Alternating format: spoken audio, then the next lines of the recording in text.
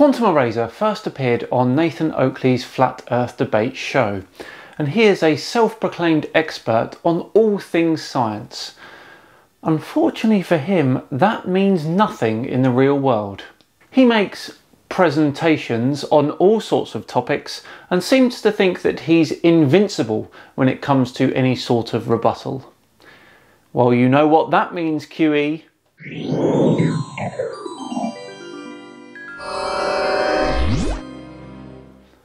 Hello all and welcome along to another episode of Flat Earth Friday with me, SciManDan. Thank you very much for joining me. So Quantum Eraser does have his own channel and if you're interested this is his intro.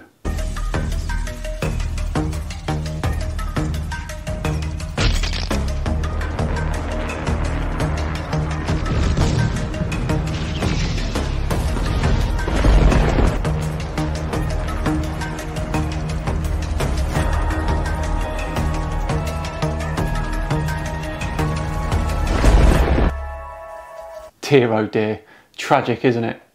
Of course, some of you may remember Quantum Eraser from the time Conspiracy Cats absolutely ruined him when Quantum Eraser debunked himself. Below. How dare you? Below the horizon. No. Below. You can't prove it. Below the horizon. Tape your mouth shut. Absolute nonsense. Shut the door behind him and let Nathan savage him. Below. The hell is your problem? Below. Recently, I saw a video of his where he talks about the sun. Quantum Eraser thinks that space and by extension all things in it are not real. And amusingly, he cites the second law of thermodynamics as the reason why. Let's sit back and watch his presentation, shall we? All right, the sun. So this is going to be pretty quick. I mean, uh, uh, back into the second law again. I mean, how many times, how, over how many subjects does the second law of thermodynamics come up in? Almost every single one of them. See what I mean? It can, yeah. It actually, it actually does. But Yeah, a lot of people, it in, entropy is beyond some people. I think. It absolutely is. And some people claim to understand it too, when they don't. Hint, hint. Yeah, uh, uh, yeah. A lot of people violate, you know, uh, uh, the laws of entropy in everything they say. I'm so shocked at it. Uh, it's and it's not only you know just just you know the regular Joes. You have that Sohu guy that was interviewed, uh, that was talking about the sun. That was one of the first things he said.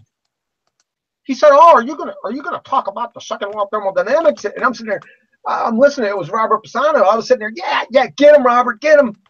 But uh, you know, Robert had to. He had an agenda. He wanted to go over a lot of topics and, and let him off the hook. The guy brought it up himself.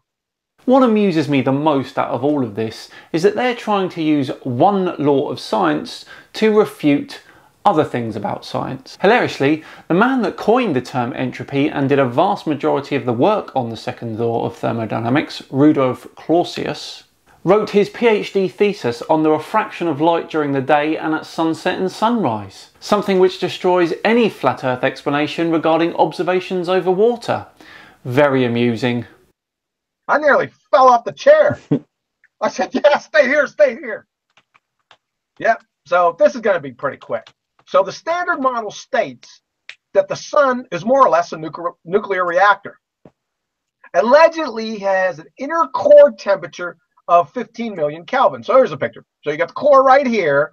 You got the radiative zone. You got the convective zone. So the surface of the sun is the, is the photosphere. Just above the photosphere is the chromosphere. And just above the chromosphere is the corona. So remember, it's 15 million Kelvin in here, and it's 5,800 Kelvin on the surface.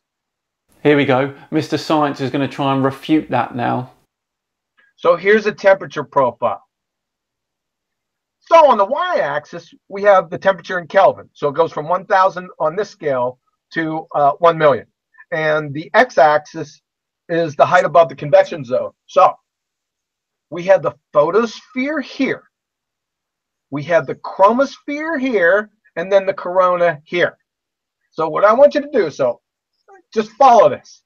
So it's it goes from out here 15. Let's say this is the uh, core of the sun here. It goes from 15 million Kelvin But that's 1 million Kelvin, not 15. Come on, QE, try and be accurate now. all the way down. We're getting into the photosphere now. So it's dropped. The temperature's dropping down, dropping down, and it gets to about 5,800 Kelvin. So as you notice, as it as it starts going towards the chromosphere, it begins to rise, right? You're saying, uh oh, there's kind of a little problem here. And it keeps going, and just at the transition point between the chromosphere and the corona, this guy goes rocket man. I mean, parabolic. From what? 10,000 Kelvin to what? 500,000 Kelvin? I mean, uh, this is a rocket shot. And if it keeps going, if you keep this chart going, it goes to 10 million, way out here. The thing with the sun's atmosphere, which includes both the corona and the chromosphere, is the further away you get from the photosphere, then not only does the temperature increase, but the density of the hydrogen particles dramatically decreases. This means that the conditions are right for a peculiar property of gases when at high temperature and low density. When the gas is in the tens of thousands of kelvins, it is in an unstable state, which it means it cannot cool efficiently. That means that the temperature quickly rises into the millions of kelvins. However, we still do not know the source of the initial heating of the sun's atmosphere. Now, it's thought that possibly the sun's magnetic field has a big part to play in that, but we still aren't 100% sure. So does everyone see the problem here? If you don't, I'm going to show you. So the inner core temp of the sun is 15 million Kelvin, like we said.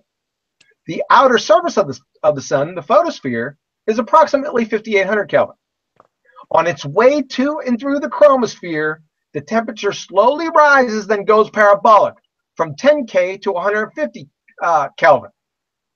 When nearing the corona, then it goes from 1 million Kelvin to 10 million Kelvin. So what's the problem? There isn't one. This actually happens. We have the data. Well, I suppose the fairy tale pseudoscience priests collectively missed the lectures on the second law of thermodynamics. Heat really does flow up parabolic hills, I suppose. I mean, this is preposterous. This is tantamount to standing near a wood stove, then moving back 500 meters because it's too hot, then you spontaneously combust. Yes, because the sun's atmospheric temperature, which has complex physics and magnetic fields, is exactly the same as standing next to a fire here on Earth, QE, isn't it?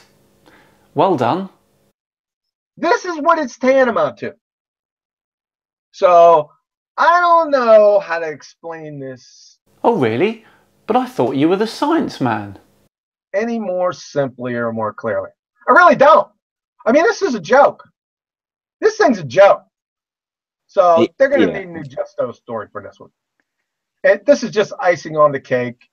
Um, these are the solar winds and the speed of uh, the ionized particles. This is hydrogen and oxygen. And as you can see, I don't know if you can see this. It's real blurry on mine too. This is 1 million miles per hour right here. And this is 2 million miles an hour here. So the bars on the left show the speed of ionized particles, hydrogen and oxygen, beginning on the surface of the sun, not that fast at all.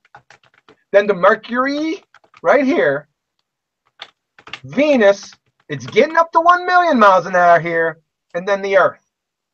Uh, my question is, how is it speeding up? Space is huge, including our own solar system. Yes, the solar wind is accelerated by the gases in the corona and accelerates up to about 600 kilometers per second, but it does get to that top speed. There is possible evidence now that the solar wind actually slows down as it reaches the edge of our solar system. Uh, this is tantamount to putting Nolan Ryan on the mound, take the backstop out, have Nolan Ryan, Nolan Ryan fire a fastball, gets to about 95, 100 mile an hour as it crosses the plate, goes past the backstop to the concession stand, and it's hitting 110 miles an hour, then it's in the parking lot at 250. So, so that's preposterous. No, what's preposterous is your analogy. The correct analogy, in terms of the graph you've just shown, would be measuring the velocity of that baseball after it's thrown at one metre, then at two metres, then at three metres. You know the baseball will hit a top speed and then slow down, but your observations won't show this. I don't know what else to say about that. and they don't have an answer. I've been searching for a long. There is no answer to this. Well, just gave you one. Wasn't too hard. No coherent one, anyway. I don't know. Maybe it's gravity. And oh, this is. I, I just wanted to finish up with this because I, I thought it was pretty cool for all the electrical engineers out there. So this is the voltage profile of the sun. As you can see, this is identical. This profile, you can superimpose a solid state PNP transistor right on top of this very profile. It's exactly the same. So I'm just going to leave that out there for you because there's a lot of people talking about this. I think Eric Dollard brought this up one time about Oh. the sun being a transistor. And uh, I'm pretty sure that uh, one of his proofs was this. This slam dunk right here. Yes, QE, slam dunk. I don't think we need to continue further with this one, do we? QE is clearly an expert here, and his incredulity about the sun obviously means that everything we've understood about the sun up to now is completely wrong. He's so smart. I bet Quantum Eraser could tell us all sorts of other things about the solar system, like how we know about all the different size moons. I don't know how to explain this. Oh, okay. I thought. Alright, what about the life and death of stars? I don't know how to explain this. Wow. Okay. Um, could you tell us about electromagnetic radiation and how the heat from the sun reaches us here on Earth? I don't know how to explain this. I, I don't. Um, what about what heat is? I don't know how to explain this. What anything is? I don't know how to explain this. Sorry about this, guys. Perhaps Quantum Eraser is just having an off day. Um, you do know what the scientific method is, don't you, QE? I really don't. Oh dear. Let's leave Quantum Eraser there for today, shall we? Bless him. Right, that brings another Tinfoil Tuesday to another spiffing conclusion. Thank you very much for watching. If you enjoyed it today, then please, please do like and subscribe. I have been SciManDan. Have yourselves a great day, and I'll see you all tomorrow for the final episode of the SciManDan Show. See you then.